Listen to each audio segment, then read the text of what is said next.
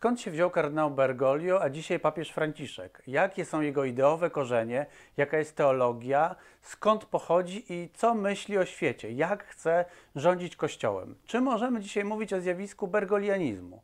O tym będę rozmawiał z Pawłem Milicarkiem, redaktorem naczelnym Christianitas, a także Markiem Jurkiem, historykiem i publicystą. Zapraszam.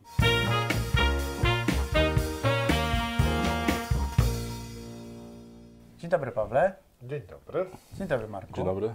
Ja chciałbym zacząć od e, takiej kwestii, e, bo w publicystyce pojawia się takie hasło bergolianizm na określenie tego, co się dzieje w czasach pontyfikatu papieża Franciszka. Ale tak sobie myślę, że to mi się tak kojarzy z leninizmem na przykład, tak, albo z marksizmem. Kojarzy mi się jako e, pewien rodzaj takiej zwartej doktryny, tak, jakiejś wręcz ideologii. E, no ale właśnie, czy, czy powinniśmy papieża wkładać w takie, w takie ramy takiego hasełka? Znaczy, mnie kiedyś bardzo raziło w y, dawnych czasach. Y, nawet odbierałem to jako y, antyrzymskie. Jak czytaliśmy prasę zachodnią, się pisało, że papież Wojtyła, czy że za czasów papieża Peczeliego i tak dalej. Natomiast to, że się y, w debacie o y, Kościele, w zwykłej debacie, mówi o peczelianizmie, wojtylianizmie, ratzingeryzmie, bergelianizmie, to jest zupełnie normalne. Wynika z tego, że każdy papież, e, poza tym, że e, no, mówiąc językiem Ewangelii, e, przychodzi w duchu Piotra, no, bo wykonuje urząd Piotrowy, no to każdy jest człowiekiem, który przychodzi do swojego czasu, ma swój temperament, ma swoje przekonania, ma swoje priorytety i jego pontyfikat ma zawsze jakiś osobisty rys i kształtuje Kościół i tego. I w tym sensie to jest bardzo ważne. Dlatego na przykład ja bardzo często mówię o tym, że mm, wolną Polskę, y, taką jaka była, mm, ukształtował y, w latach 90. konsensus wojtyliański. Pewna bezsporność autorytetu i takich podstawowych zasad, które Jan Paweł II głosił. Nie afirmacja, niestety, możemy w afirmacji powiedzieć, ale właśnie bezsporność. Mhm. Natomiast rzeczywiście my dzisiaj żyjemy w epoce bergoliańskiej i, i, i warto się nad tym zastanawiać, jaki ona Ale ma charakter. Czyli to nie jest dla Ciebie takie hasło, które koniecznie musi być pejoratywne, bo ja trochę tak odbieram nie, to, to jako ja, ja, to odbieram jako po prostu no, badanie okresu, pewnego okresu mhm. w historii Kościoła, jego tendencji i tak dalej, osobistej roli papieża, bo pamiętajmy, mhm. że każdy papież poza swoim urzędem, poza swoimi funkcjami magisterialnymi, no, kieruje Kościołem, też w jakiś sposób, no, kiedyś mówiono, że kieruje światem y, chrześcijańskim y, i, i, i, dobrze wiedzieć, do czego zmierza. Mhm. Pawle, a Ciebie bym zapytał, na czym polega odrębność papieża Franciszka? Znaczy, skoro trzymamy się troszkę tego hasła, że mamy taką epokę bergoliańską, e, nie jest już wojtyliańska, ani jakaś tam jeszcze inna, prawda? Każdego papieża można by teraz... No Ratzingerowska nie Ratzingerowska, jest. tak zdecydowanie. Tak, ale, ale na, na, czym polega ta odrębność, gdybyśmy no, spróbowali jakoś tak uchwycić? No, pewnie, pewnie, będziemy próbowali e, pokazać idee, które kształtowały e, papieża Franciszka, to jest istotne, ale najpierw e, odrysujmy sobie kilka tych mhm. odrębności, o których była mowa właściwie nazajutrz po wyborze papieża Franciszka, przypomnijmy sobie, to są, to są odrębności takie jak na przykład no, ta zupełnie geograficzno-kulturowa, prawda, podstawowa. Papież Franciszek sam powiedział e, trochę żartując, że został wybrany papież z, końca świata. No, w tym sensie z końca świata, że to jest rzeczywiście wybór przekraczający w historii granice mm, tej, e, mm, tej e, jakby to powiedzieć, rdzennej Christianitas śródziemnomorskiej, tak powiedzieć. Byli, byli papieże nie, nie tylko z, z, z, Europy, byli papieże z Afryki, mm. prawda? E, owszem, a teraz mamy rzeczywiście pierwszego papieża z Nowego Świata. To nie jest tylko e, moment takiego, takiej wyobraźni, e, jakby wielkich odkryć geograficznych. To jest, to jest opis świata, który ma też przecież w znacznym stopniu inną historię i zupełnie inaczej się sytuował w czasie wielkich wojen światowych, prawda? W związku z tym inaczej sobie konkludował różne spory no, nowoczesności. To jest e, świat, w którym na przykład, no, będziemy na pewno o tym wspominali, takie y, hasła jak komunizm y, będą się tym wielu tym ludziom kojarzyły nie, nieco inaczej, prawda? E, nie, nie w konfrontacji sowieckiej, tak jak e, na przykład dla nas jest to oczywiste, tylko będą, będą wchodziły w jakieś, inne, w jakieś inne konteksty, to będzie teologia wyzwolenia, o której o której pewnie, do której, do której tutaj dotkniemy. Więc to jest, to, to jest ten moment bardzo ważny. Drugi, pokoleniowy, no, jest to pierwszy papież, który de facto zna Sobór Watykański II, czyli ten mhm. sobór, który w znacznym stopniu ukształtował, e, albo w każdym razie stał się punktem odniesienia do, do, do, do ukształtowania Kościoła w ostatnich dziesięcioleciach, e, no to papież Franciszek jest jakby już uczestnikiem świata, który został ukształtowany po soborze, a nie tym, kto na przykład mógł być świadkiem osobistym tego, co, jakie były w dokumentach soboru wpisane idee. Mieliśmy w przypadku papieża Benedykta XVI kogoś, kto po prostu, można powiedzieć, zamieszkał w redakcji tych dokumentów, tak? znał doskonale spory, nie tylko od strony, tak jak one rozbrzmiewały w auli soborowej, ale znał także spory dotyczące przecinków i, i formułowania zdań w dokumentach ze swoim przygotowaniem teologicznym miał także perspektywy, o co w ogóle w tych dokumentach szerzej chodzi. Papież Jan Paweł II był z kolei jako młody biskup uczestniczący w, w, w dyskusjach no, soborowych, widział to jakby od strony także duszpasterskiego przełożenia tych, tych, tych, tych, tych dokumentów, prawda? To są te perspektywy bardzo ważne.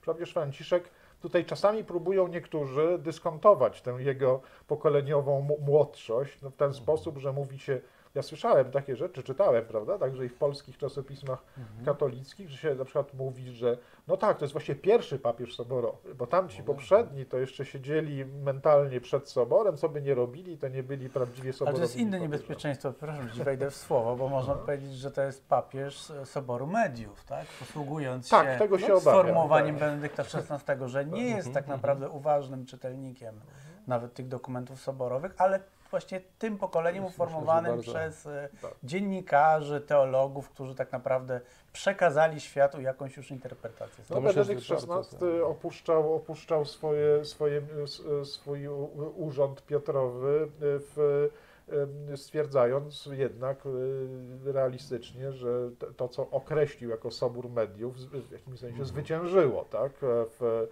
E, i że zadaniem jest de facto najpierw odróżnienie tych mhm. soboru, rzeczywistego soboru mediów, jakoś jednak odbudowanie e, czy odnalezienie rzeczywistego autorytetu mhm. soboru, a mhm. nie jego, a nie jego różnych e, podróbek. Markus, ja myślę, że to bardzo czasowo trafna intuicja, mhm. że z, tym soborem mediów, tak. bo y, oczywiście niech rzeczy badają historycy, ale myślę, że y, ta znajomość w seminarium, w pierwszych latach kapłaństwa w zakonie i tak dalej, y, Soboru była w o wiele większym stopniu tym promieniowaniem tak zwanej atmosfery Soboru, właśnie promieniowaniem poprzez media, z mediów i tak dalej. Albo niemieckich teologów. I tej tak? atmosfery, tak. A potem, to jest, a potem to jest drugi składnik, tak. Papieża formacja niemiecka i tak dalej, to, to jest hmm. potem potem drugi składnik tej jego formacji, ale wyjściowo to jest ten papież, którego nie ukształtowały czasy Piusa XI, Piusa XII, jak Jana Pawła II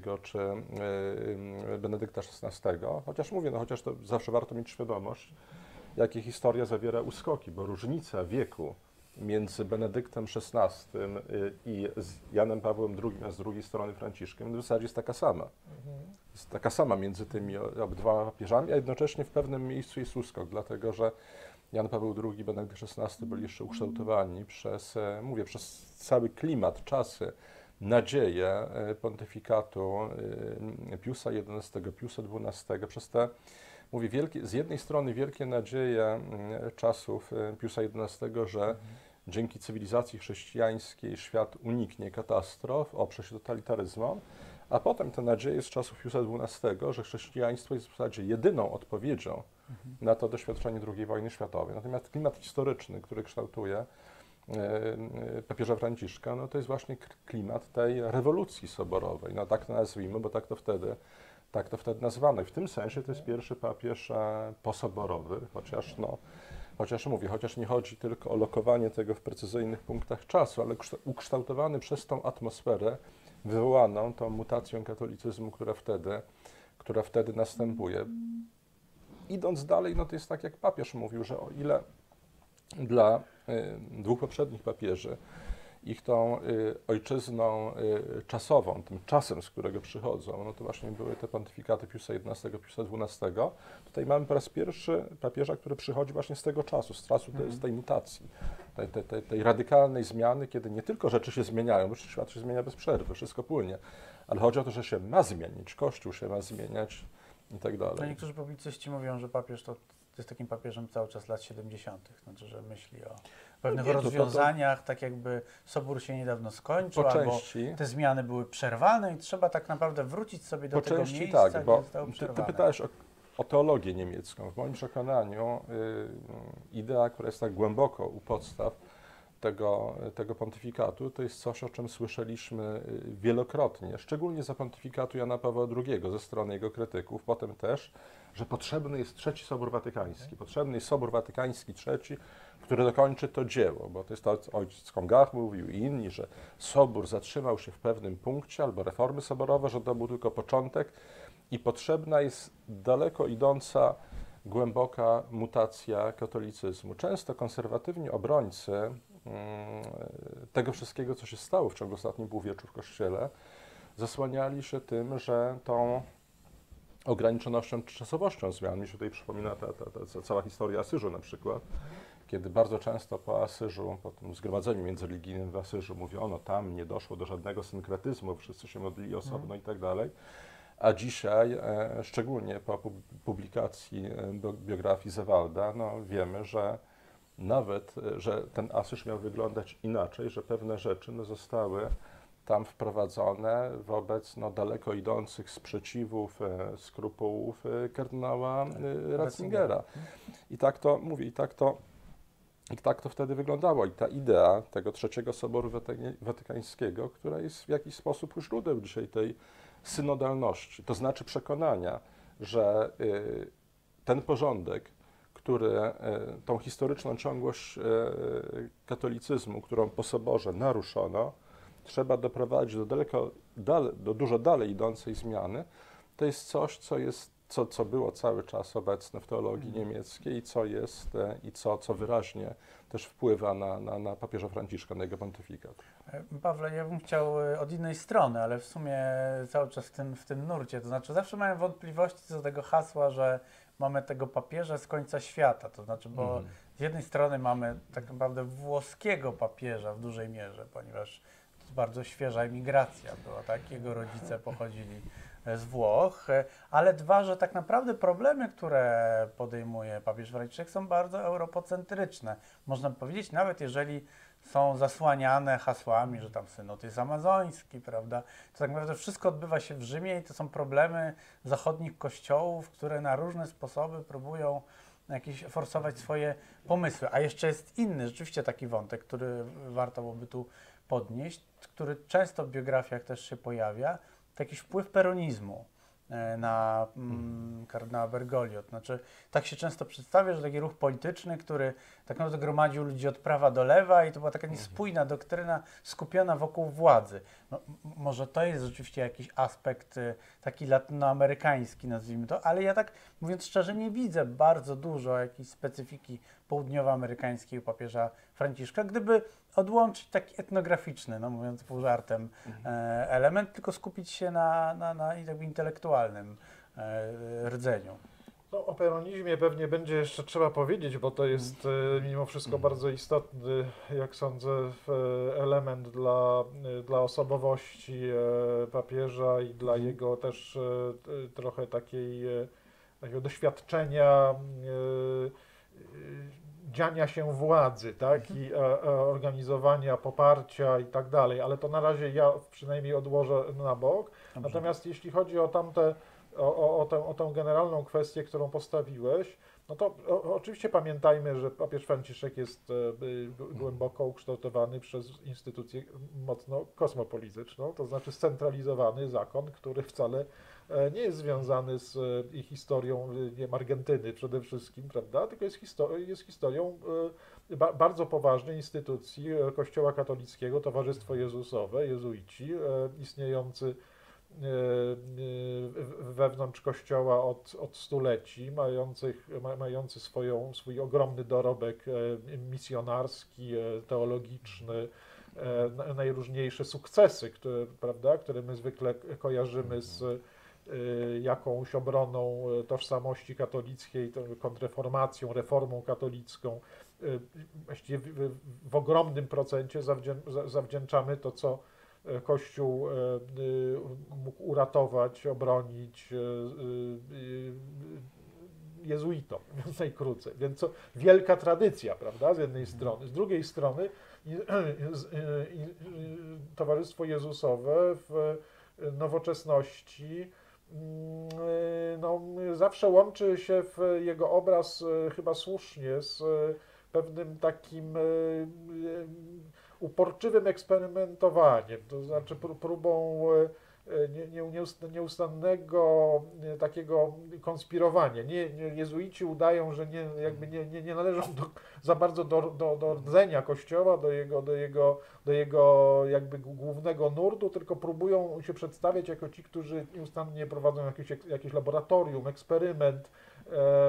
To jest pozytyw, to ma swój pozytywny e, walor, bo, bo, bo, bo, bo, bo, bo oczywiście to są jakieś próby kształtowania nowoczesnego duszpasterstwa, ale ja zwracam uwagę chętnie na to, że jezuici są tak potężnym, przepraszam, tak potężnym słoniem w, w domu kościoła, mhm. że e, jeśli nawet udają, że są tylko jakimś e, e, czynnikiem, jakby to powiedzieć, taki, takim, takim takimi komandosami eksperymentów, na granicach. Prawda? To tak, prawda tak. jest zupełnie inna. Oni są e, ludźmi kształtującymi oblicze Kościoła w jego centrum mhm. e, w, w, znacznym stopniu. Są tak po prostu potężnym co do potencjału, e, tak potężną instytucją, że gdy w niej dokonują się pewne zmiany, przekształcenia, to one są natychmiast rzutowane na, na, na, na, na, na cały Kościół. To, to jest chyba też e, element e, ważny dla obecnego pontyfikatu, bo papież mhm. Franciszek nie zawsze chyba E, też, nie, może to świadomie czyni po prostu, że uważa, że duchowość tego jednego zgromadzenia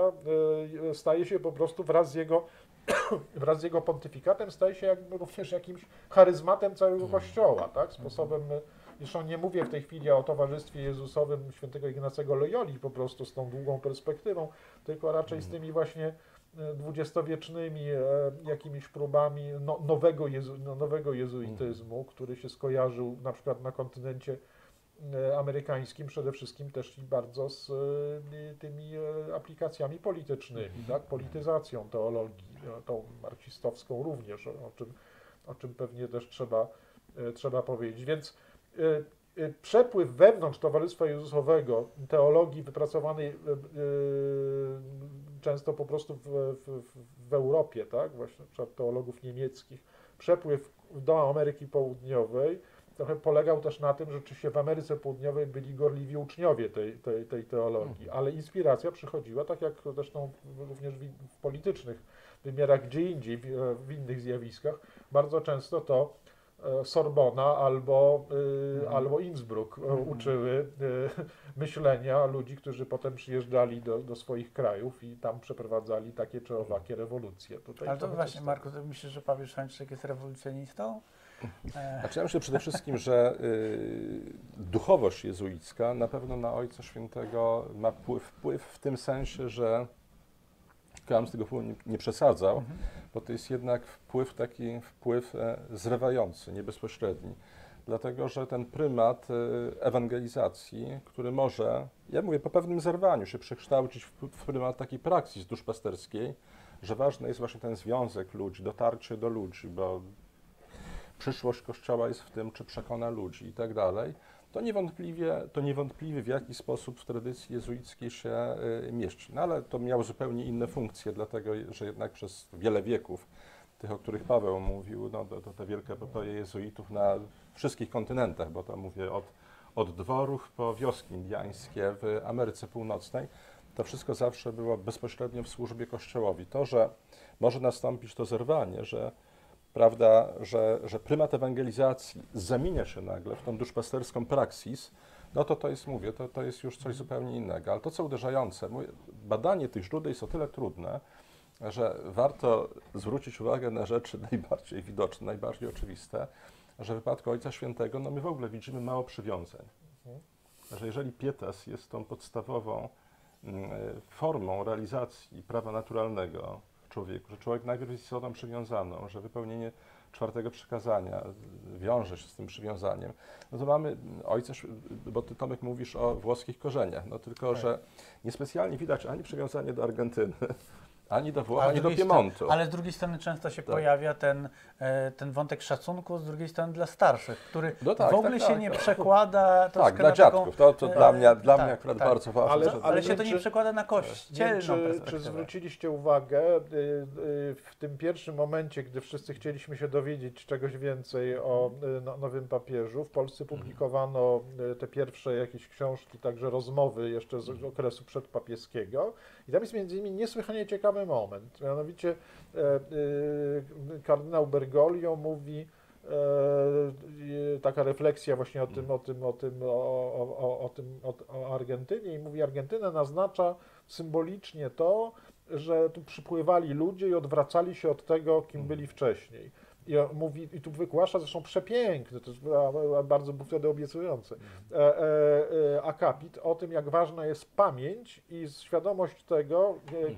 kim się jest, nie tylko indywidualnie, ale także w, w sensie pewnego wspólnego wspólnego losu, wręcz chyba tam pada również określenie po prostu tradycja i ciągłość tradycji. Ale to jest, to jest opis mhm. tego deficytu, którym, o którym ty, Marku, mówiłeś. To znaczy, ktoś e, opowiada rzecz, którą sam w jakimś, w jakimś sensie jest dotknięty, tylko w wymiarze niekoniecznie, ja nie wiem, jak, jak jest z jego tymi włoskimi korzeniami, natomiast jeśli chodzi o korzenie kościelne, to jest to, to, to wybitnie. No, ale pamiętacie, ja pamiętacie że na przykład jako swoją ulubioną powieść mhm. Papież Franciszek podał narzeczonych Manzoniego, prawda? No, We tak, włoską, tak, tak, włoską tak, literaturę tak. romantyczną. natomiast pierwsze, bo Paweł mówił o tych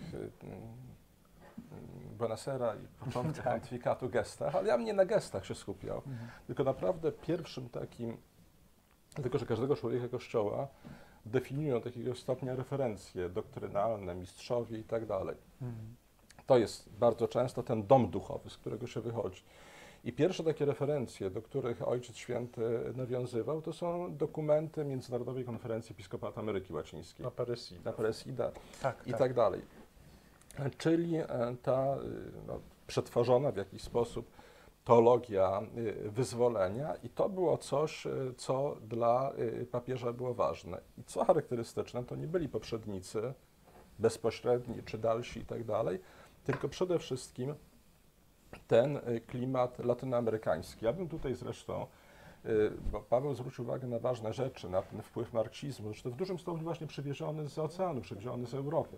Bo nie jest prawdą, co bardzo często słyszymy, że w związku z tym, że my doświadczyliśmy bezpośrednio e, dominacji e, sowieckiej, mhm. to inne kontynenty czy Ameryka Łacińska nie jest związana, że trudno oczekiwać od jej katolików, że e, będą związani antykomunistycznym nauczaniem Kościoła, Dimi Redemptoris i tak dalej. Nie, wręcz przeciwnie, w Ameryce Łacińskiej antykomunizm istnieje. Tam ludzie wiedzą, że ważna jest rodzina, że ważna jest praca, że rewolucja jest zagrożeniem. Mądry człowiek napisał, że y, świetnym laboratorium socjologicznym jest piłka nożna, że ona wyjaśnia wszystko. Wystarczy zobaczyć, ilu piłkarzy y, brazylijskich to dzisiaj są ewangelikalni y, chrześcijanie, ale żeby nie stawać na, mówię, żeby nie, nie, nie zamykać sprawy w anegdotach piłkarskich, no, prezydent Bolsonaro jest, był ewangelikalnym chrześcijaninem i ten antykomunizm i ta reakcja narodów e, w obronie no, tych właśnie podstawowych zasad społecznych, ona została w jakiś sposób skonfiskowana przez Amerykanów, przez e, różne wspólnoty protestanckie, no, gwałtownie wchodzące do e, Ameryki Łacińskiej po tym, jak właśnie tam Kościół wybrał tą drogę, gdzie mówię, bo to, to, to której już nie można wiązać z duchowością jezuicką, właśnie pragmatyzm, że pójdziemy drogą takiego właśnie populizmu y, społecznego, pójdziemy w, równolegle z rewolucją. Owszem, ta y, opcja preferencyjna na rzecz y, rewolucji, opcja preferencyjna na rzecz ludu, ona nie musi się przyznawać do rewolucji i tak dalej, ale tak naprawdę jej, jej towarzyszy. No i dlatego Ojciec Święty dzisiaj może mówić, że jest komunistą i tak dalej, co jest mhm. po prostu szokujące. No, no oczywiście, no, że uczciwość każe powiedzieć, że to są te takie prowokacyjne żarty. każdy powinien stawiać pytania światu i sobie, więc w ogóle warto zapytać, czy, czy prowokacyjne żarty to powinna być podstawowa forma wypowiedzi papieża, no ale, ale ta prowokacja jest daleko idąca, bo mówimy jednak o najbardziej zbrodniczej ideologii, która no, w Ameryce Łacińskiej, na przykład na Kubie, pokazała dokładnie no, ten sam, w Nikaragui, i dzisiaj przy prześladowaniu hmm. kościoła w Nikaragui, no, pokazała dokładnie ten sam cykl stalinowski, czy, czy leninowsko-stalinowski, który znamy z Europy Wschodniej, to znaczy najpierw rozprawa z naiwnymi zwolennikami rewolucji, potem tak. rozprawa, znaczy najpierw z reakcją tak zwaną, czyli z antykomunistami, potem z naiwnymi zwolennikami rewolucji, potem z chłopami, a na końcu deportacje, tak jak, tak jak deportacje y, y, Niemców nadwołżańskich, Tatarów krymskich czy Indian Miskito w y, Nikaragui. Już wiadomo było, czym jest komunizm.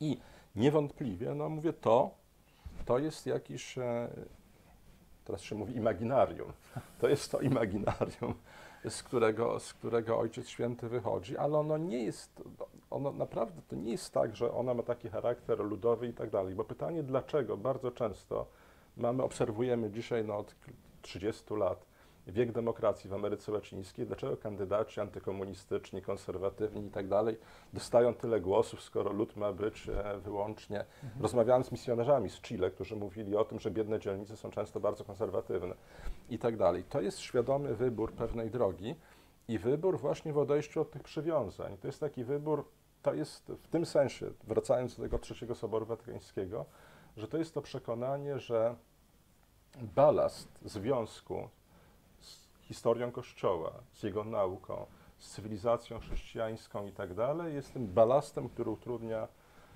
y, utrudnia ewangelizację, utrudnia te wielkie plany i tak dalej. Tylko osobną kwestią oczywiście jest, dokąd one w ogóle prowadzą. Ale to jest ciekawe, bo y, w, na przykład w tych tekstach społecznych papieża Franciszka często jest takie wrażenie, to Paweł o tym pisałeś zresztą, że hmm. jakby Ewangelia jest trochę jakimś takim pobocznym wątkiem y, tych pewnych dążeń do sprawiedliwości, nie jest takim światłem, tak, które przyświeca jakiejś zmianie, jakimś rozwojowi społecznemu, tak jak to e, papieże e, nazywali. Czy, to, czy tu jest jakiś taki laicyzm w tym Czy trudno mi myśleniu? powiedzieć, to, to jest widoczne w Fratelli Tutti, tak? To bardzo wyraźnie, że właściwie cała konstrukcja, to jest pierwszy chyba w dziejach encyklik społecznych, nauczania społecznego Kościoła, e, taki dokument, w którym nie chodzi o to, że, że mamy prezentację pewnego światła Ewangelii i światła e, prawa naturalnego i następnie konfrontację z problemami e, nowoczesności społecznymi, tylko w jakimś sensie jest odwrotnie. Jest próba opisania najpierw takiego quasi socjologicznego e, problemów świata, a, a potem jest gdzieś dopiero gdzieś w którymś momencie pojawia się próba opowiedzenia tego, ale właśnie już opowiedzenia pewnych wcześniej zdefiniowanych problemów w języku, nie wiem, przypowieści o synu marnotrawnym, prawda? Czyli odwrócenie y, y, tej kolejności i dlatego można byłoby powiedzieć, że, że jest to dosyć e, skrupulatnie przeprowadzony zabieg e, wytworzenia takiego dokumentu, który sądzę w zamierzeniu autora ma być wyrazem e, nauczania Kościoła, nauczania Ewangelii, ale takiego, że jak czytamy go, to niekoniecznie mamy świadomość, że to napisał ktoś wierzący. No to, to, to, jest, to jest dziwny eksperyment, ale o tym e, kiedyś e, jeszcze kiedyś też, mhm. te, też mówiliśmy. Mhm. Natomiast to jeszcze nawiązując do tego, o czym mówiłeś, wspomniałeś o tych latach 70., o tym swoistym mhm. zatrzymaniu się, coś z tego jest, bo ja zgadzając się z Markiem, że, że ta perspektywa tego otwarcia Trzeciego Soboru jest zawsze tu obecna, ale istnieje też w tym środowisku, w, w myśleniu tego środowiska, ta rana, że Sobór został zatrzymany i de facto w drugiej części pontyfikatu Pawła VI doszło do zamrożenia e, Soboru. I tu jest stąd ta, e, to odsyłanie do, zresztą kapitalne jest to, że powiesz Franciszek nie ma Pawła VI za zdrajcę, tylko za takiego nie, kogoś, w sumie kogoś, kto e, nie, nie dokończył pewnego dzieła, tak, ale, ale jeżeli się je, je, je, je otworzył, I e, ta myśl, że niestety złe, zła, zła, e, złe burze roku 68 wystraszyły Kościół. Kościół nie poszedł dalej, został zahamowany. Paweł VI nie wiedział dalej, co robić. To jest trochę taka wizja zamrożenia zmian, a potem niestety Jan Paweł II, a jeszcze oczywiście jeszcze bardziej Benedykt XVI, ale Jan Paweł II odgrywają w tej historii, mówię teraz nie, o, nie referuję dosłownie jakiegoś stanowiska papieża Franciszka, ale tego, tego kulturowego środowiska kulturowo-teologicznego. W, tym, w tej opowieści Jan Paweł II odgrywa rolę tego straszliwego hamulcowego, który, który, który zatrzymał całą tę e, rozpędzoną, e, e, rozpędzony pociąg, symboliczna kara wobec Hansa Kinga i, i później jeszcze kilku innych teologów. To jest czarna legenda, prawda? I mhm. dlatego przekonanie, że Sobór trzeba zrealizować, to było to francuskie achever le concile, do, do, do, wykonać sobór, a oczywiście potem no, zdecydowanie momenty, w których sobo, na soborze nie było, na przykład cała przez, przez dziesięciolecia y, opiewana y, tak z bólem, z żalem ta historia, że Sobór Watykański II nie dokonał właściwie żadnej reformy teologii moralnej nauki moralnej, że na tym punkcie nie nastąpiła zmiana. To jest rzeczywiście ten materiał do tego nowego soboru, który, no i teraz właśnie go obserwujemy. Ja zanim, zanim przejdziemy do już takich podsumowań, to chciałem jeszcze do tego peronizmu wrócić, bo nam by ten wątek umknął, a go podjęliśmy. Czy on się jakoś krzyżuje na przykład z tym przywiązaniem do teologii wyzwolenia? Jak to, jak to może, że tak powiem, formacyjnie mhm. e, kształtować e, papieża Franciszka no, ten kontekst no. południowoamerykański, czy, czy właśnie peronizm, no, który można by uznać za pewien rodzaj specyficznego konserwatyzmu, tak? Znaczy takiej szerokiej, tak, no specyficznego, szerokiej partii, która stara partii się, tak, no, partii wszystkich, tak, oczywiście w tym sensie. E, ale też jest w tym równocześnie potencjał rewolucyjny wbrew pozorom, ponieważ jest to podważenie wszelkich zasad ostatecznie znaczy, Juan dla władzy. Perón no, stał się naprawdę wszystkim dla wszystkich Argentyńczyków, tak, dlatego tak. że pamiętajmy, że on zaczynał jako, jako, jako y, y, sympatyk, czy admirator Mussoliniego, bardzo przeżył e, śmierć e, Mussoliniego, a peronizm na końcu no, kończył na skrajnie lewicowym terroryzmie, na grupach trockistowskich. To, to, to była pełna gama i tak dalej, łącznie z konserwatystami, liberałami pomiędzy. Najważniejszy to był lider, który tam prowadzi i tak dalej. I właśnie ta akcja, ta, ta, ta, ta, ta akcja, która, która, która tutaj e, łączy z ludźmi i ludzie, że warunkiem, no, sensem działania, jeżeli działanie ludzkie nie znajduje tego bezpośredniego, masowego dźwięku w ludziach, no i to jest to, co mm, o czym Paweł mówił, no te gesty, no dlatego, że ja bym powiedział, że takie w pewnym sensie marynarką pułkownika Perona, no to jest mhm. teczka naszego papieża, z tym, mhm. że no, y, Peron y, zdejmował marynarkę, przemawiając z tego, że pokazać, że jest z zakasanymi rękawami, że jest jednym z nas, a Ojciec Święty właśnie nachodzi z teczką, czy, czy tak, że, że z teczką, bo nie potrzebuje mm, i tak dalej, no, czy, czy, czy, czy święta ma, no to są takie, mm, ale w moim przekonaniu no, dużo ważniejsze jest to, w którą stronę my idziemy, bo nie mówiliśmy o takim ważnym źródle, jednak tego pontyfikatu, jakim jest e, teologia pluralizmu religijnego. I to ostateczne, można powiedzieć, wyprowadzenie Kościoła z konfrontacji ze światem.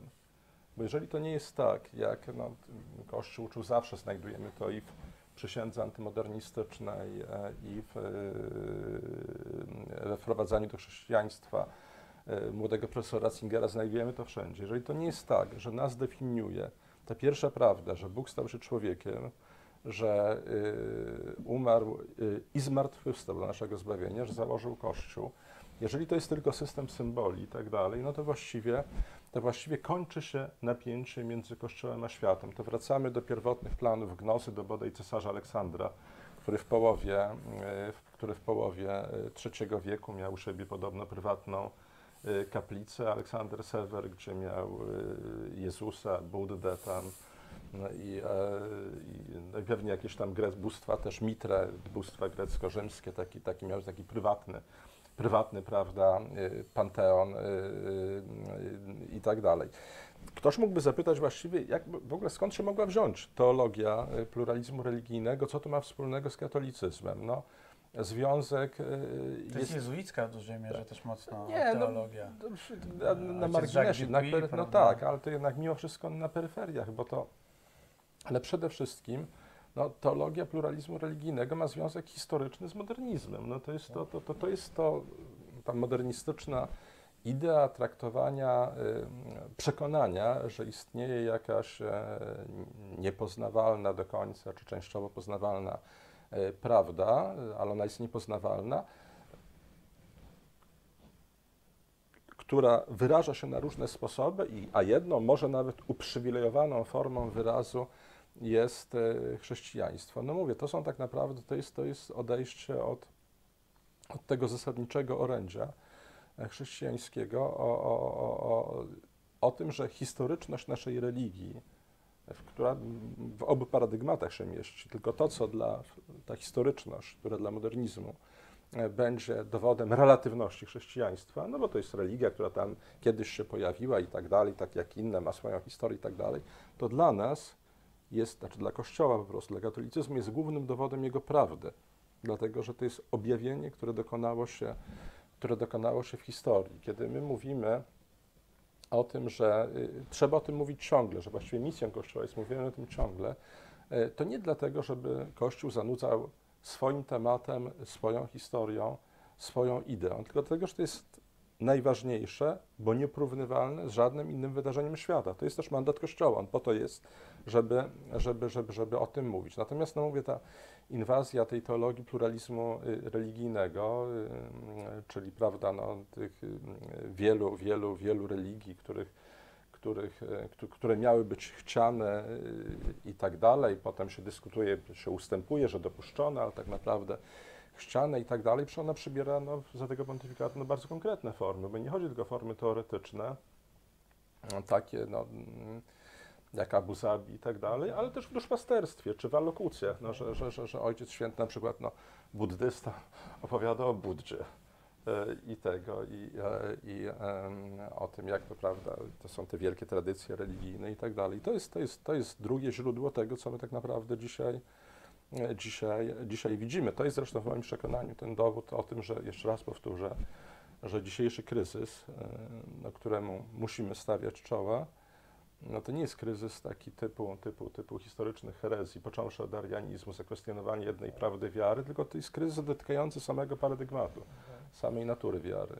Także myślę, że, Jak diagnoza, że, że, że, nie skończymy dzisiaj tego tematu, mhm. że będziemy w ogóle wracać jeszcze do papieża Franciszka, ale chciałbym Was zapytać, Pawle, bo mimo wszystko jakieś plusy e, tego pontyfikatu, bo jakby ten obraz, który przedstawiacie jest taki dosyć czarny. Znaczy Marek teraz w ogóle na pytanie, które trochę sobie sam postawił, dokąd to zmierza, jakby mm, taką, taką perspektywę mhm. rozkładu, tak, w ogóle teologii mhm. katolickiej mm, prezentuje, no to się ale w tą gnostycką tendencję. E, no, czy, czy, czy, możemy jednak jakieś plusy z, też z tej naszej sytuacji wyciągnąć?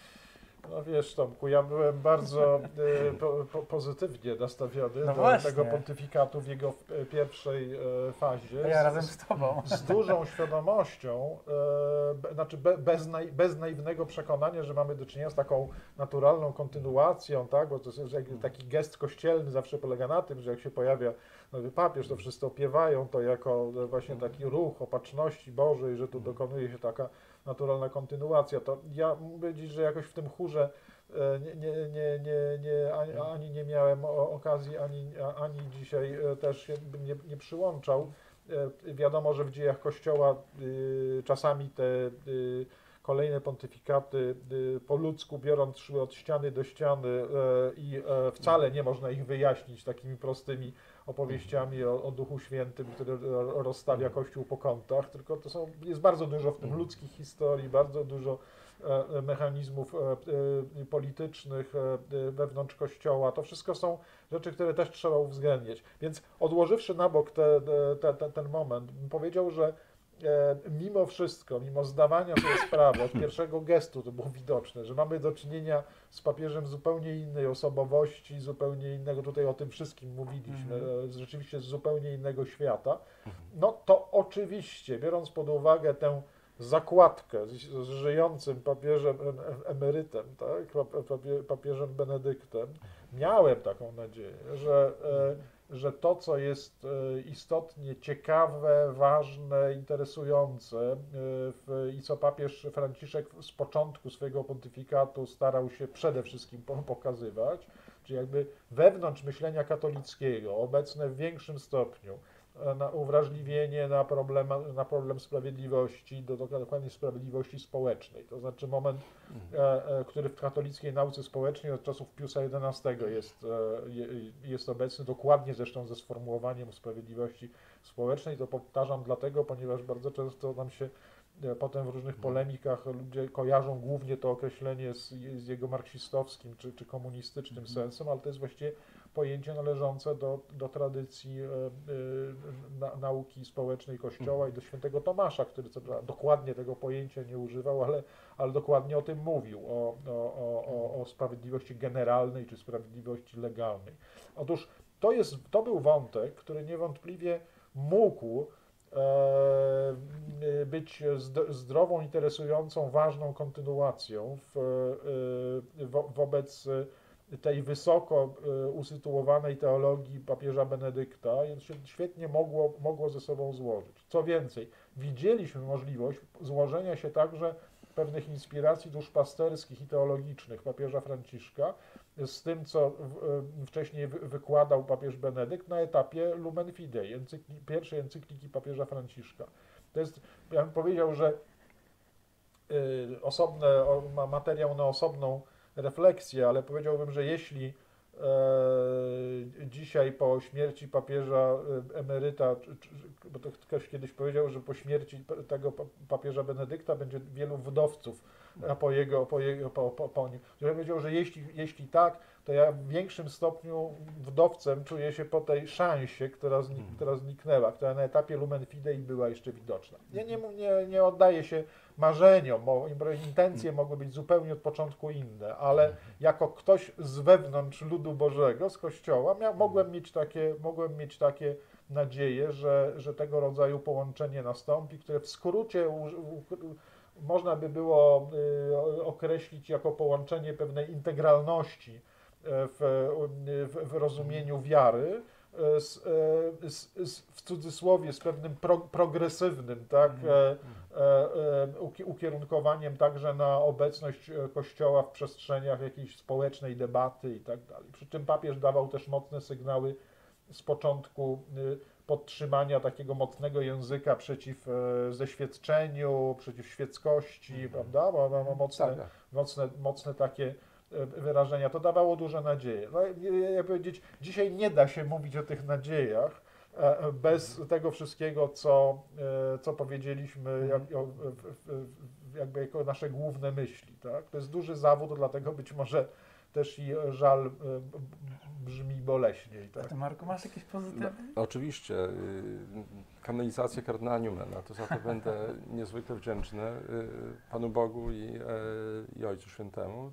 Ważna, ważna rzecz dla mhm. Kościoła i, i pewnie jakby policzysz takich rzeczy y, będzie więcej, bo pamiętajmy poza wszystkim, no, E, każdy papież jest e, wikariuszem Chrystusa. Paweł zwrócił uwagę na bardzo ważną rzecz, ale w moim przekonaniu ona jest też teologicznie bardzo ważna, no bo nie po to podkreślamy to, że y, Zbawiciel był we wszystkim podobny do nas oprócz grzechu, żeby nie mieć świadomości, że papieżami, w odróżnieniu od y, Pana Jezusa, no, no są, są, są, są, ludzie zwykli, którzy są w ogóle we wszystkim podobni do wszystkich innych ludzi i tak dalej. I ty mówisz o tych wątkach politycznych, one są, są subiektywne, ale jeszcze jest coś innego ciekawego, że tak naprawdę każdy papież wnosi pewien bagaż kulturowy, formacji, czy to tej obiektywnej, e, wynikającej, jakby powiedział nasz papież dzisiaj, z przestrzeni, czy tej subiektywnej, z czasu i tak dalej. Więc no, mówię, no, papież jest znakiem jedności Kościoła. Nawet jeżeli się y, miliony katolików dzisiaj na świecie jednoczy w niepokoju tym, co Ojciec Święty mówi i tym, co się w Kościele dzieje, no to to też jednoczy właśnie wokół tego znaku, nawet jeżeli on jest e, niepokojący. Mm. Takich rzeczy można by podać więcej e, szczegółowych. No mówię, na kanonizację kardynała e, Newmana, no i mówię, no i kościół, kościół, kościół jest, tylko problem jest w tym, żeby że historycznie, chociaż wiemy, że Kościół y, przetrwa wszystko, to nie wszyscy i wszystko przetrwa w Kościele. I to, to, to, mhm. jest, to jest prawda, której uczy historia i, mm, i która jest całkowicie zgodna z, z, tą, z, tą, z tą pierwszą. Jan Paweł II pod koniec życia, kilkanaście miesięcy przed śmiercią, w Ecclesia in Europa powtarzał słowa Ewangelii, że czy Zbawiciel, kiedy wróci na ziemię, znajdzie wiarę i mówi, znajdzie wiarę na, w Europie akurat i tak dalej. Także to, to bardzo mocne, że, mhm. że ten. I dzisiaj naprawdę jesteśmy w bardzo dramatycznej sytuacji. Natomiast mówię, natomiast no, kardynał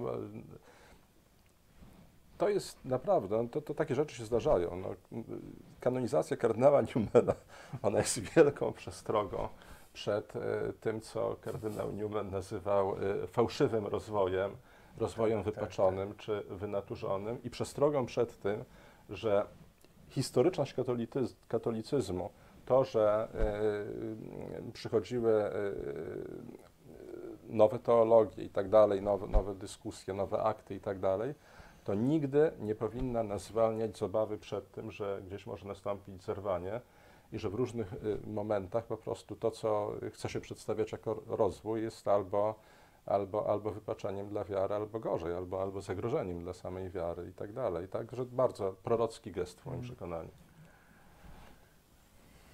Także e, myślę, że będziemy do tematu pontyfikatu papieża Franciszka wracać w takich szczegółowych bardziej odsłonach, bo otworzyliście różne, jakby dobić takie furtki, mm. tak, do których e, warto by wrócić. No również do kardynała Niemana być może warto będzie mm. się zbliżyć e, w naszej rozmowie.